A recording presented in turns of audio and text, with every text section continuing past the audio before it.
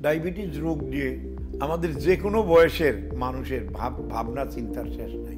শুধু বাংলাদেশে না, সারা পৃথিবীর মানুষই ভাবতেছে কি করলে পরে ডায়াবেটিস প্রতিরোধক ওষুধ আবিষ্কার করা যায়, কি করলে পরে ডায়াবেটিসকে প্রতিরোধ করা যায়।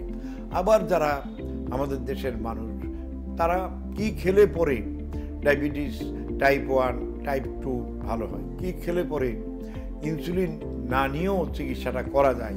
কি খেলে পরে আমাদের ডায়াবেটিসের যে ক্ষতিগুলো আছে, দাঁত, নাক, কান, গলা, কণ্ঠনালী, বিভিন্ন জায়গায় যে ডায়াবেটিস ভয়ানক ক্ষতি করতেছে, এটা কীভাবে প্রতিরোধ করা যায়?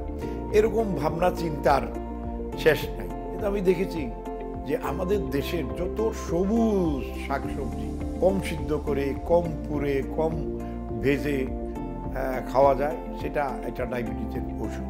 আর করলা ভাজি, করলার স্যুপ করলার জুস, করলার রস উস্তার রস, এটাও সরাসরি ডায়াবেটিসের ওষুধ। পৃথিবীর যত ধরনের ডায়াবেটিস আছে, সব ক্ষেত্রেই আপনার করলার শরবত এবং করলার ভাজি, করলার ঝোল ওষুধ হিসাবে কাজ করবে। অনেকে অনেক কথা বলে থাকে যে করলার রসে মতান্তরে কিছু ক্ষতি আছে কিনা। আলহামদুলিল্লাহ, সেরকম ক্ষতি করলার রসে পাওয়া যায়নি। করলার পাতাও কিন্তু ঔষধ। কার ডায়াবেটিসের রুগী? লিভারের একটা মহা ওষুধ করলা। লিভার যার ভালো, তার কিডনি ভালো। লিভার যার ভালো, তার গোল ব্লাডার ভালো। Any bitter taste liver tonic, any cards anti cancer.